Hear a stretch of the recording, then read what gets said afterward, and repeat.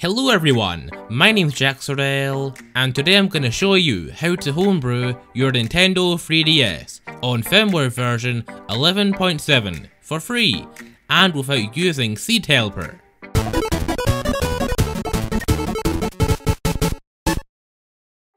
Like many creators these days, I'm on Patreon. If you want to support the channel and get a shout out in my videos, as well as receive Patreon exclusive content, consider donating as little as a dollar per month. This week's Patreon supporter is Alexander1, who raised his contribution to $3, so a huge thank you to him. But now onto the video. Yep, that's right, a free homebrew exploit, which works on 11.7 has been released. And this isn't the one Smee is going to announce at DEF CON, that one's still to come. So in the meantime, we can use this free and easy method which I'm going to show you in this video. Like I said, this tutorial is quite easy, but if you do need any help, you can ask me or anyone else on my Discord server. The link to that is down below. All you're going to need for this video is a 3DS with an internet connection, an SD card, and an SD card reader for your PC. But of course, if you're using a new 3DS or new 2DS, you can use the SD card management software in system settings. But now, let's get started. And remember to leave a like on this video and subscribe if it helped you out. I make new Nintendo videos like this every Sunday. First of all, you're going to want to find your 3DS's firmware version. To do this, just open up System Settings and your version will be shown in the bottom right corner of the top screen. Your firmware version may not look the same as mine, but it should start with 11.7. Now you're going to want to note down your entire 3DS firmware version because we're going to be using it later. Once you've done that, return to the home menu and then we can move on to the next step. Now open up the Nintendo eShop because we're going to be downloading a free game.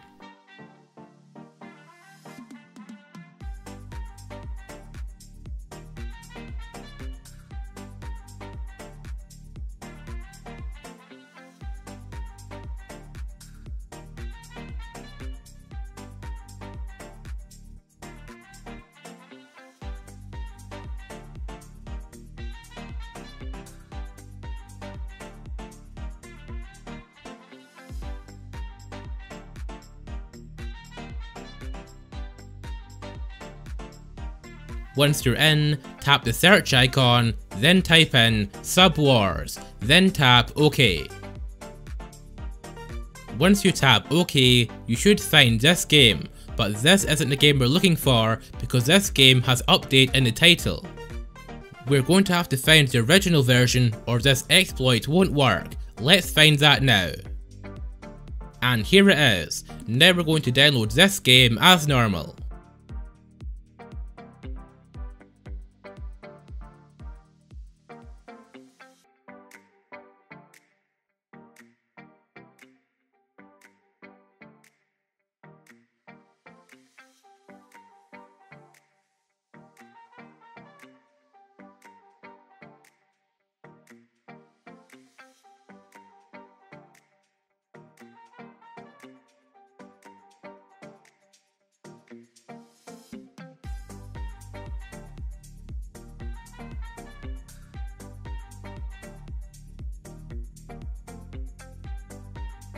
Once it's finished, return to the home menu and it should take you to the game automatically.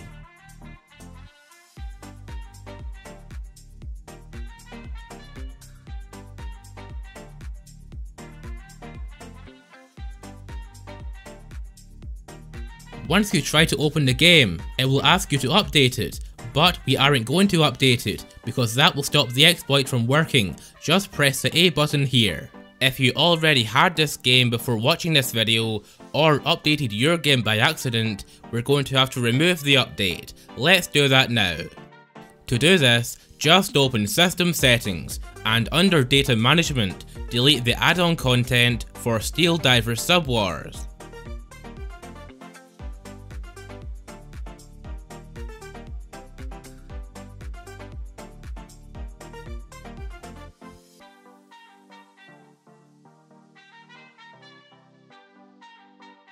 And that's all you have to do to remove the update data. So now let's continue with the exploit. Next, launch Steel Diver Subwars and create a new profile using a me.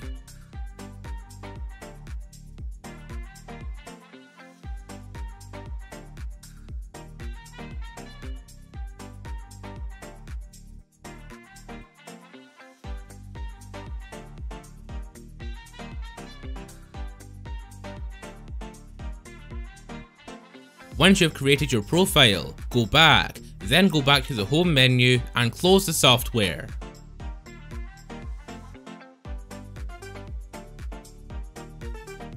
And now for the last step until we move on to the PC. Open up your friends list and note down your friend code. You can find your friend code in the second card on the top screen.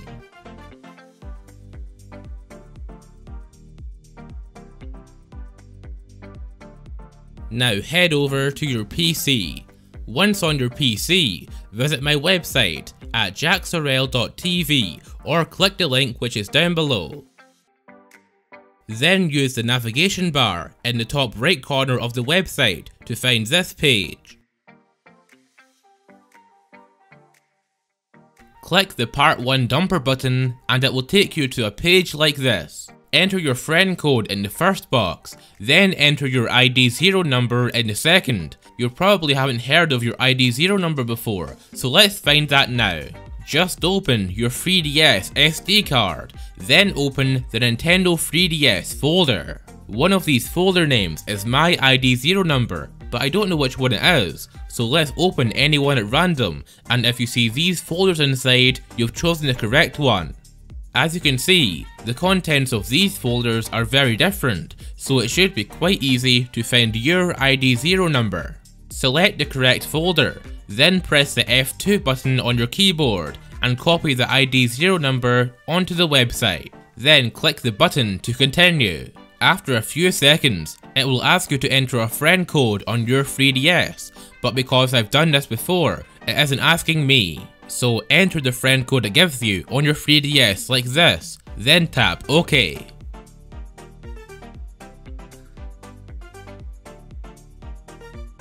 Once you become friends with the bot, it will let you download your file after a few seconds.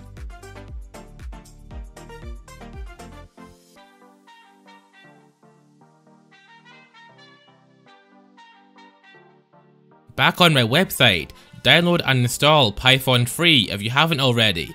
I already have this installed, so I don't have to do it again. Then click the Steel Miner button and download the latest release of Seed Miner.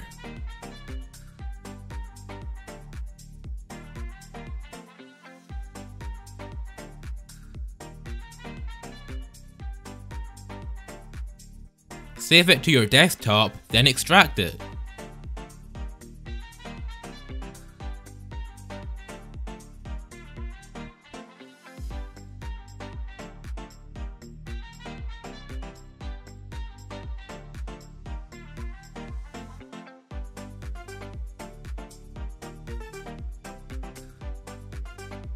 Then move your movable part 1 file to the seed miner folder.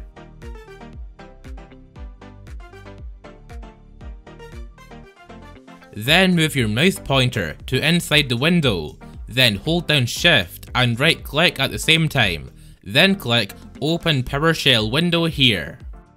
Windows PowerShell should now open from inside the seed miner folder. Back on my website, copy these Python commands into the PowerShell window.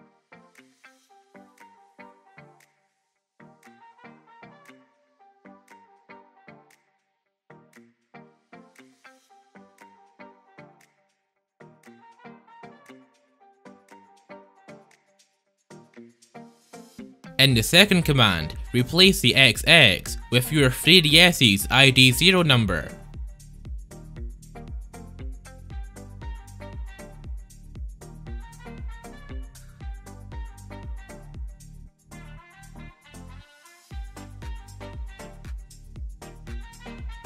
Then paste the final command into the PowerShell window. If your PC has a graphics card, leave the command as GPU. But if your PC doesn't have a graphics card, or if you don't know if you have one, or if you use Intel integrated graphics, change it to CPU. Then hit enter, and your PC will process the file. Depending on your processor or graphics card, this can take a couple of seconds or even over a day, so please be patient and keep in mind your PC will be unresponsive while this is running. I recommend to leave your PC on overnight to do this, and not to use your PC while it is running. But since I have a good GPU, a AMD RX 580, it only took about 7 seconds. Once it's finished, close Windows PowerShell and retrieve the processed file. The file we're looking for is named movable.sed and it should have been modified recently. Once you have your movable.sed file, you can delete the remaining folders.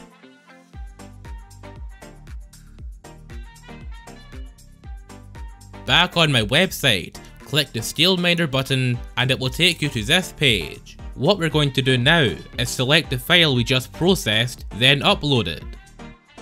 Then you're going to select your 3DS's region. If you're not sure of your 3DS's region, just look at the letter at the end of the firmware version. If your firmware ends in U, it's US, E for Europe, and J for Japan. Click Start, then save the file to your desktop. Then under Finalizing, download the SteelHacks installer.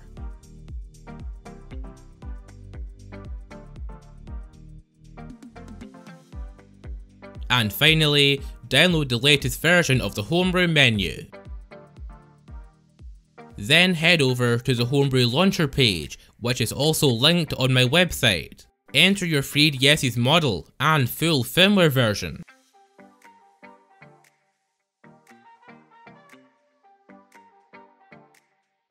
If you don't know if your 3DS is old or new, just check how many shoulder buttons you have. If you have only L and R, choose old, but if you have 4 buttons, L, R, ZL and ZR, choose new. And don't forget about your region letter, E for Europe, U for US, J for Japan, and K for Korea. And finally, click download other app and save the file to your desktop.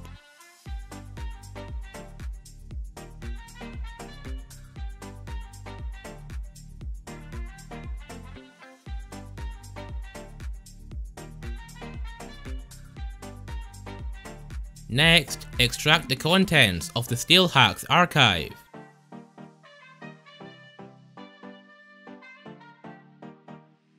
You will need WinRAR to extract this archive, but don't worry, WinRAR is a free software available online.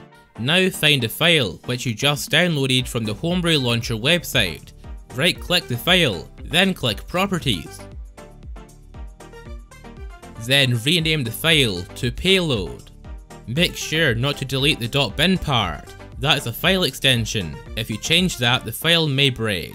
But if you don't see it, that's fine, sometimes it is hidden. Once you've done that, open up your 3DS SD card.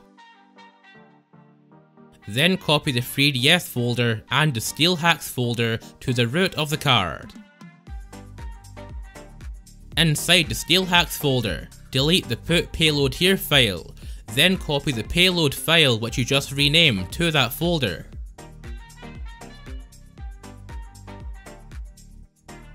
Then copy the boot file to the root of the 3DS SD card.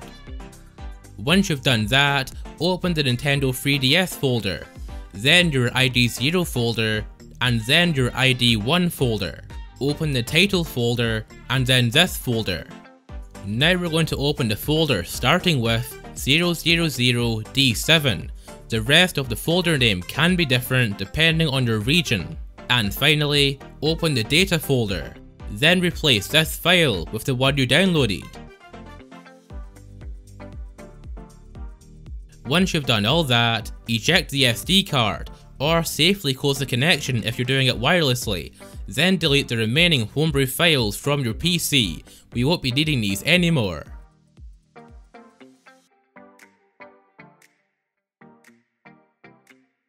Now over on your 3DS, launch Steel Divers Subwars, And remember not to update the game.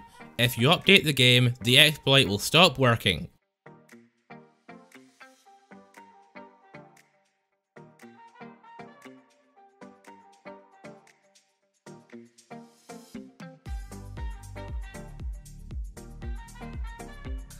Well, it looks like our first attempt crashed the console, but don't worry, to fix this, just hold the power button for about 10 seconds until the power LED turns off, then just launch the game again. And we're back. Let's launch the game again, and hopefully it will work this time.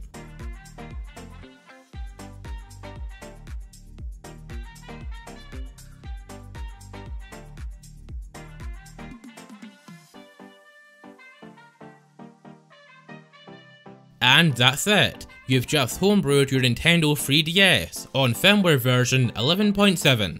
As you can see, there isn't really any apps installed yet, but don't worry, in future videos, I'll show you how to install tools, emulators, games and lots more, so make sure to subscribe. To exit the Homebrew launcher, just press the start button and then the A button and you'll be kicked back to the home menu. And from now on, when you open Steel Diver Subwars, you'll be greeted with the Homebrew launcher. Just make sure you don't update the game, or update your firmware version.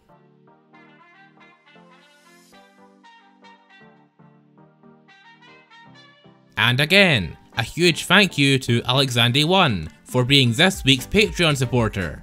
Well, that's all for today. My name's Jack Sorrell, and if you want more homebrew guides, just visit my website at www.jacksorrell.tv or subscribe. But anyway, I'll see you next Sunday with a brand new video.